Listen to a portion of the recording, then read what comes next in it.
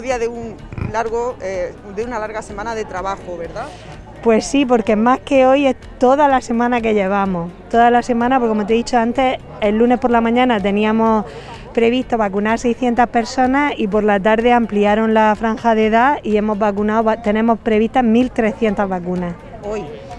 1.300 citados. Si aparece alguien sin cita porque no le haya dado tiempo o porque no tuviera bien los teléfonos, que esté siempre que esté entre el año 42 y el 51 le vacunaremos también, pero ahora mismo confirmadas tenemos 1.300 vacunas.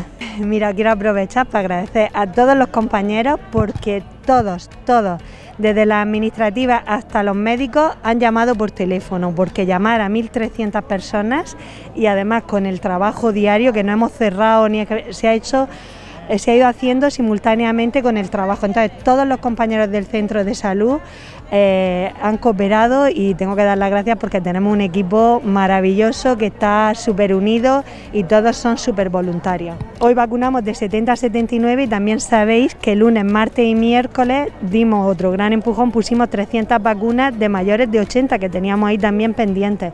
Todavía nos queda gente porque siempre hay gente que no está en sus teléfonos y gente que va apareciendo. Ya tenemos citadas para la semana que viene las segundas dosis de una gran parte de la población y además el miércoles también vacunaremos a gente que se ha ido quedando suelta. Pero sí que en, total, entre las que vamos a poner hoy y las que llevamos puestas en el centro de salud, yo calculo que llevamos puestas alrededor de unas 2.500 dosis, que ya es una parte importante de, la población. Esta vacunación estaba prevista la semana pasada, pero el pabellón había que hacer uno, pues lo que te piden las de salud pública, y entonces se retrasó una semana. Sea, que quiere decir que todo va en base a que se estudien los espacios, a que haya disponibilidad y en base a los números de dosis que llegan a la región. Entonces, sí, todo sigue como está previsto y como ha dicho la ministra, seguiremos vacunando a, a grandes grupos de población. Es posible que de 60 a 69 los vacunemos próximamente muy pronto. Siempre vuelvo a repetir, por favor, si alguien de esta franja de edad ya de 70 para arriba está sin vacunar, que pase por el centro de salud, que nosotros lo iremos acoplando en días, porque si seguimos recibiendo dosis, nosotros seguimos vacunando. Ya digo que la semana que viene tenemos ya previstas más o menos otras 300 dosis y es posible que pongamos alguna más, porque nos vienen segundas dosis y alguien que nos quede por ahí descolgado. Y tenemos aquí a Pepa Ledo, tú sabes lo que es esta enfermedad y la gravedad. Pues sí, la verdad es que es un trauma, pero grande, ¿sabes? Porque cuando te llega, como en mi caso, después de haber pasado una cuarentena, que yo estuve 14 días, que entonces eran 14 días porque mi madre desgraciadamente lo pasó y además le costó la vida. Y al cabo de 14 días pues empecé a encontrarme mal y tuve pues, que volver a repetirme, a mí me habían hecho la prueba, había salido negativa y entonces me la volví, me, derivaron del centro de salud al Hospital Virgen de la Risaca y allí me confirmaron que tenía una neumonía leve, pero que y me repitieron la prueba, entonces di positivo. Y tuve un ingreso de seis días solamente porque tuve la suerte de que fue leve, pero sí tengo que decirte que fue cuando me dijeron que tenía que ingresar y con el tan reciente de mi madre, pues pasé dos días que no se los deseo a nadie, muy malos, horrorosos. Yo afortunadamente me repuse pronto, no he tenido ni no tengo secuelas de ningún tipo y, he tenido, pues, mm, dentro de, lo mal que lo pasé, mm, que no lo he pasado, o sea, que no, que no he tenido eso, complicaciones graves. Por eso mm, no comprendo cuando la gente dice que no quiere vacunarse, pues le digo que, cualquier cosa que tengas, por leve que sea, como en mi caso, leve dentro de la gravedad que tuve, es superior al riesgo de que puede tener el vacunarse y yo, vamos, le recomiendo a todo el mundo que se vacune y que no se deje llevar por todas estas olas que hay ahora mismo de informaciones, que estamos saturados un poco de informaciones a veces contradictorias y que siempre el riesgo de tener el COVID pues es mucho peor que el que puedas tener al, al recibir una vacuna. Así que yo la recomiendo, por supuesto, a todo el mundo, sí, porque, porque se pasa muy mal.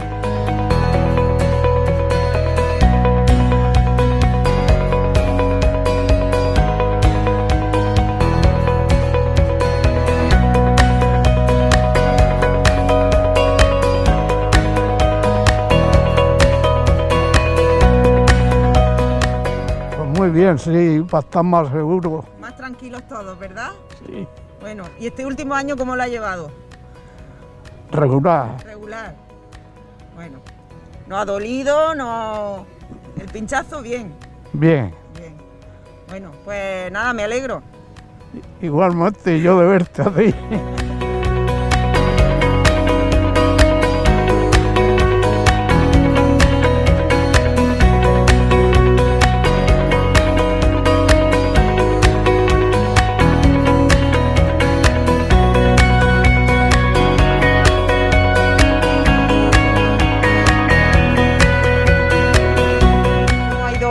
vacunación? ¿Viene usted de, vacuna- de vacunarse, no? Yo lo veo eh, estupendo, bien. Sí. ¿Tenía Sí. ganas? Hombre, tenía ganas de vacunarme, claro. Sí, ¿verdad?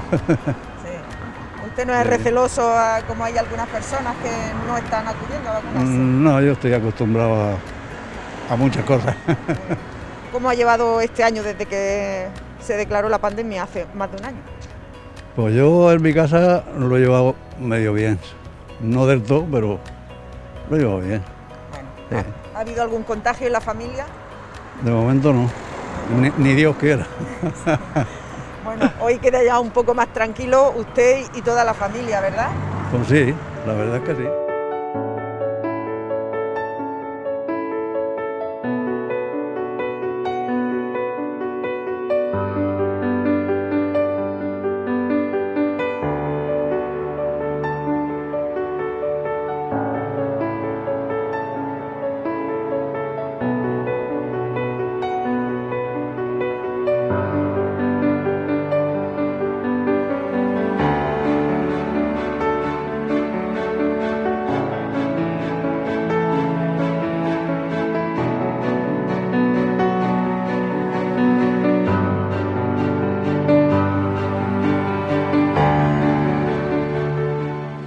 Dentro de lo que cabe lo llevamos muy bien. O sea, mm, además contentos porque está todo saliendo muy bien, la gente está colaborando y estamos todos como fuente ovejuna. Así que muy contentos. Ha estado, nos la mandaron congelada, se ha descongelado y ahora, una vez congelada, pues vamos reconstituyendo los viales, sacando las seis dosis que corresponden y luego tiene, después de reconstituida, un periodo de dos horas de validez. Entonces, pues lo que nos gusta es que, aunque se haga un poco de pelota, pero que les vaya viniendo la gente para que no estén mucho tiempo reconstituidas. Eh, sabemos que, es que me emociono, no puedo contestar.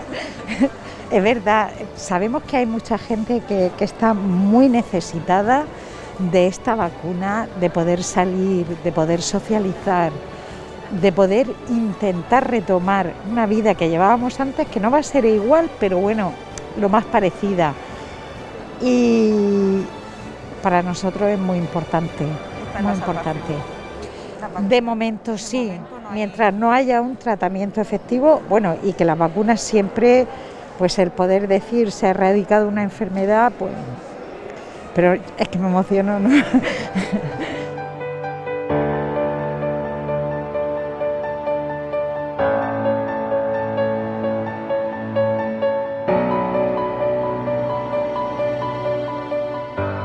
Bueno, y aquí esta persona tan conocida de Alama, don Mateo Con Clares. las máscaras no me conoce nadie.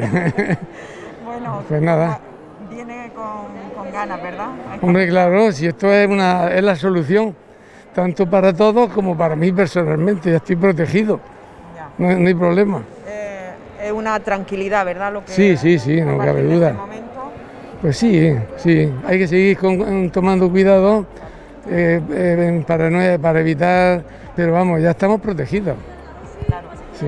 ¿Cómo ha sido para usted esta, este último año de, de pandemia? Pues muy difícil, muy difícil porque es que nos han cortado todo tipo de relaciones, eh, contactos, darnos la mano, un abrazo, un beso. Eh, eh, ahí en la iglesia donde yo trabajo pues también pasa lo mismo, que tenemos que ir con un cuidado, guardando las distancias, protegiéndonos con la mascarilla, las manos siempre lavándoselas. Pero, en fin, ahí vamos, bien. Hemos trabajado mucho por internet, con las videoconferencias y todo eso, que gracias a Dios nos ha servido, pero no es lo mismo. Eh, como tampoco han sido lo mismo eh, los enterramientos. Eh, Ah, sí, padre, sí. esto ha sido Sí, una cuestión que, bueno, especialmente durante el confinamiento, aquello supongo que debió ser Pues, para usted mira, para, también. para mí muy duro porque a mí me gusta mucho entrar en contacto con la familia y siempre me iba a donde estaban los familiares, hablaba con ellos, les preguntaba cómo, cómo estaban viviendo el momento y, y- y ya con el confinamiento imposible, imposible, máxime cuando han habido que enterrar a alguna persona con COVID, pues claro, lógicamente vas con, con- temor porque te puedes contagiar y puedes tú contagiar a otros también. Pero gracias a Dios, pues todo ha ido muy bien. Hemos intentado reforzar, aunque sea a distancia, pues eh, animar a los familiares, apoyarlos y motivarlos pues para, para seguir adelante a pesar de los pesares. Eh, y me ha tocado hacer todos los entierros, porque mi compañero no podía por las circunstancias suyas que tiene. Así que bueno, pues, pero bueno, gracias a Dios todo bien. Sí. Eh, padre, usted supongo que sigue teniendo contacto con Honduras, uno de los países más pobres de Sudamérica. Aquí tenemos la suerte de estar ya Bueno, bastante eso, avanzada la vacunación. ¿Cómo está allí? Ayer estuve hablando con, con un amigo de allí de Honduras y yo vengo, por un lado, muy agradecido de la vacuna porque estoy en un país que me la, me la regalan. Pero eh, allí me decía, eh, esto es el desastre padre. Allí no hay vacuna, solamente el que puede gastarse dinero tiene vacuna y el que no, pues si aguanta bien y si no se muere. Tengo algunos compañeros pues, que han perdido a su padre, a su hermano, mm, por este motivo. Y yo venía dándole vueltas, digo, "Ah, ¿qué, tengo yo que hacer? Por lo menos aquí es gratis, pues yo voy a ver si a, a esos grandes amigos que tengo por allí, por lo menos les, les preguntaré que si necesitan mandarle a cada uno algo para que se ponga la vacuna, que, que- la pago yo, ¿no? Porque, que- porque me siento en deuda, en deuda. Aquí me la regalan, me protegen, allí van al descubierto. Y además encima, como, como no se guardan todas las medidas como las tenemos aquí, pues la gente cae, cae más fácilmente. Eh, en fin, pero vamos, eh, sí, yo sigo en contacto con, con toda aquella gente de Honduras y, y claro, tengo tanta gente con la que he trabajado que me siento como en deuda con ellos. Vamos a ver qué hacemos. Algo habrá que hacer. Sí, no, no cabe duda, no cabe duda, sí. Pues para lo que necesite, aquí estamos, para, Bueno. dar, para dar la voz. Bueno, pues nada, mucho gusto y un saludo a, a toda la gente que nos oye. Que no tengan miedo, que, que esto merece la pena. Primero porque estamos protegidos.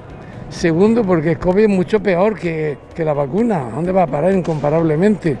Y, y por lo tanto merece la pena que entre todos consigamos ser un rebaño, como dicen por ahí, que ya no nos tenemos que, no nos contagiamos porque ya podemos volver a la vida un poco más normal. Pero mientras tanto, mucho cuidado y hay que, hay que seguir respetando las normas, porque si no volvemos a otra ola y, y esto sería peor.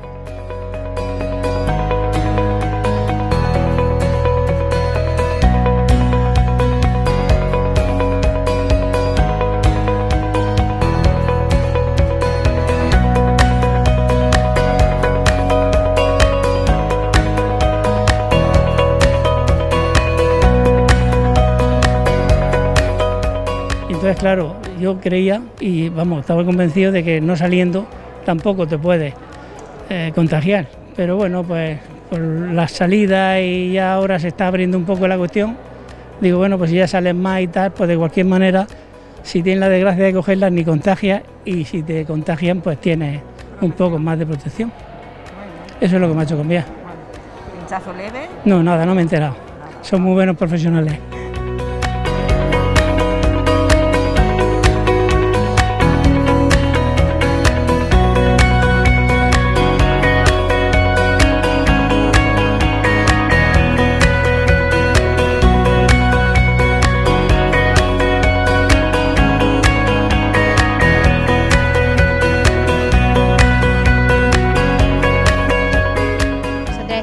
De ir limpiando las sillas conforme se va levantando la gente, pues haciéndole un poco de desinfección para que vuelvan a sentarse otras personas. Y estamos, tenemos que estar pendientes eh, del cómo se levantan para, para pasarle. Pues tenemos tiempo suficiente de ir dándole pendiente en lo que estamos haciendo y muy bien.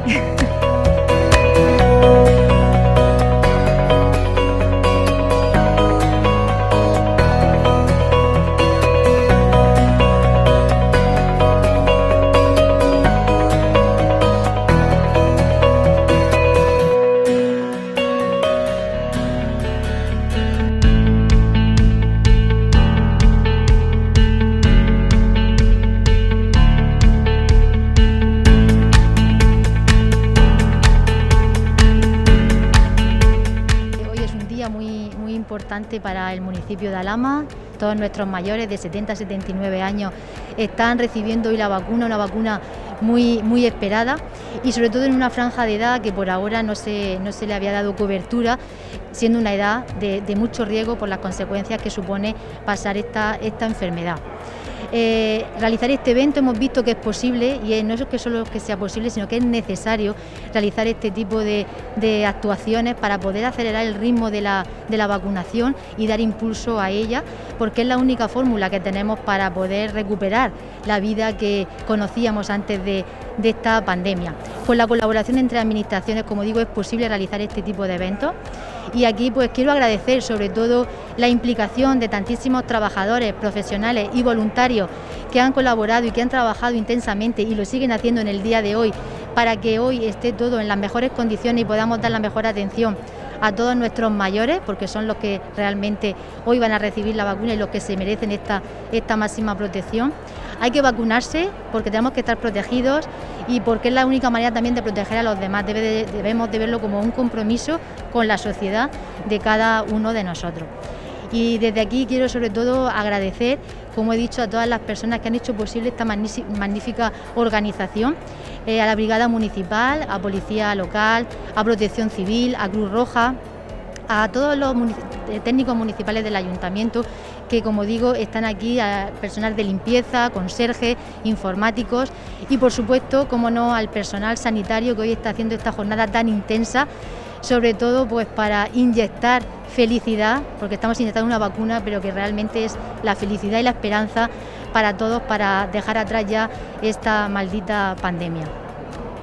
Buenos días a los medios de comunicación locales de, Alama de Murcia, en este momento tan especial para, para miles, cientos de vecinos y vecinas de, Alama. Eh, después de 13 meses sin poder eh, darle abrazos y besos todos ellos y ellas a, sus nietos y nietas ya ven más cerca la posibilidad de, tener esos momentos especiales, de volver a esa normalidad y se demuestra una vez más que la salida a esta terrible pandemia es la, es la vacuna, son las vacunas y en ese sentido pues es un, eh, momento para, celebrar, un momento para, ponerse en la piel de los vecinos y vecinas que han pasado estos 13 meses eh, tan malos. Como venimos indicando en estos, últimos días, eh, las vacunas no tienen color político, las vacunas eh, son la salida de esta, de esta pandemia y las vacunas llevan detrás una gestión, una gestión que le corresponde al, gobierno de López Miras, a los gobiernos autonómicos. Desgraciadamente en la región de Murcia no se está haciendo la gestión mm, como se están haciendo en otras comunidades autónomas. Hay casi 100.000 vacunas en los frigoríficos sin poner todavía en la región de Murcia. Estamos 12 puntos por debajo del nivel de, puesta de las vacunas que han sido servidas a las comunidades autónomas y eh, estamos 6 puntos por debajo de la media eh, nacional en cuanto a ciudadanos, eh, a, a hombres y mujeres que se han puesto esta primera vacuna. Esa gestión debe mejorar y lo que hoy quería también hacer aquí en Alama es demostrar de nuevo la importancia de la colaboración, de la coordinación y de la lealtad entre eh, instituciones, entre las administraciones locales y el gobierno regional que es el competente. Sin la colaboración, sin la coordinación de los ayuntamientos, en este caso del ayuntamiento de Alama con su equipo de gobierno y con su alcaldesa eh, Mariola Guevara, no sería posible esta eh, la celebración de este, de este evento, de, esta, de, este, de esta forma de, gestionar eh, las vacunas, porque como ha dicho la alcaldesa, son muchas las personas, eh, empleados municipales, la mayoría de ellos, que están haciendo este trabajo en el día de, en el día de hoy. Eh, y en última instancia, pues también quería comentar y, recordar al, gobierno de, de López Miras que todos los vecinos y vecinas de la región de Murcia han de ser tratados con equidad, que no puede ser que haya eh, ciudadanos que todavía eh, desde sus eh, pedanías no tengan el servicio sanitario que se merecen, como puede ser en las pedanías de Alama, que no puede ser que a fecha de hoy haya municipios como son los de Calasparra, Moratalla o Bullas que no se estén atendiendo cuando se le han prestado los servicios en sus, en su municipio y tengan que desplazarse a Cejín para poder, para poder vacunarse y que en el caso de Alama de Murcia, el municipio que empieza por la A de Alama, no puede ser por ninguna razón, por ninguna razón de cualquier tipo y mucho menos eh, de revanchas, eh, de revanchas políticas, eh, quedarse atrás en los procesos de vacunación como desgraciadamente en este caso ha ocurrido en algunos casos en los últimos días.